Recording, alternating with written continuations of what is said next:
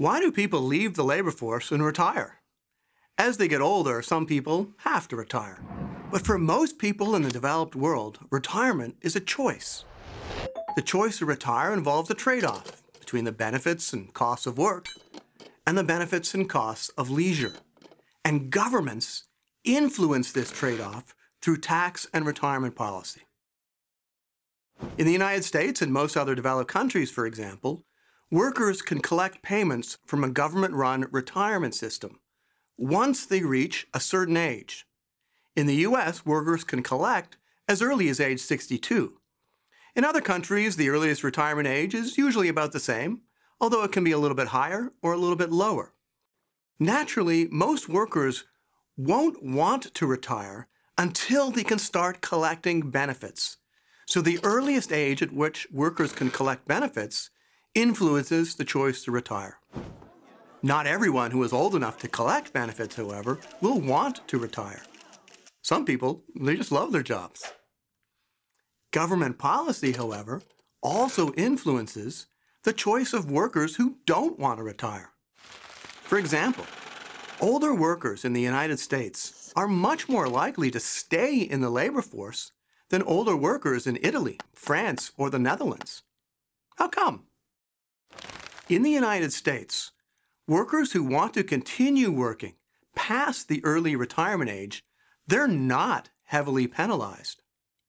But in the Netherlands, for example, workers who continue to work after the age of 60, they lose a significant portion of their retirement benefits. Imagine you're about to turn 60 in the Netherlands.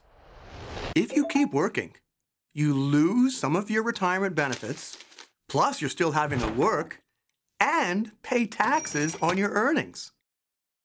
Taking all of this into account, it could actually be the case that you'd make more if you retired than if you worked. Put another way, in the Netherlands, some elderly people have to pay to work. Not surprisingly, most of them choose to retire. In this graph, we're going to plot the labor force participation rates of older males, ages 55 to 64, on the vertical axis. We look at males simply to reduce the number of variables and increase clarity. On the horizontal axis, we're going to graph the implicit tax rate. The implicit tax rate captures in a single index both the actual taxes paid on earnings, as well as penalties, such as losing retirement benefits. Countries like Belgium, France, and the Netherlands, with some of the highest implicit taxes on working, are also those with the lowest participation rates. In other words, the higher the implicit tax on working, the fewer older men choose to work. Taxing older workers and encouraging them to drop out of the labor force and collect retirement benefits this has proven to be an expensive policy in Europe, especially as the population has aged. As a result, many European governments, including the government in the Netherlands, they've been working to reform their retirement systems and to reduce implicit tax rates. Okay, government policy, of course, isn't the only force that can change the incentive to work. In the next video, we're going to take another look at the female labor force participation rate. This time, we're going to focus on a technology. A technology that changed incentives and also profoundly changed our culture. It's an amazing story, one of my favorite insights from economics.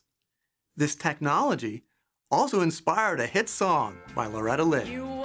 That's the topic we turn to next. If you want to test yourself, click Practice Questions.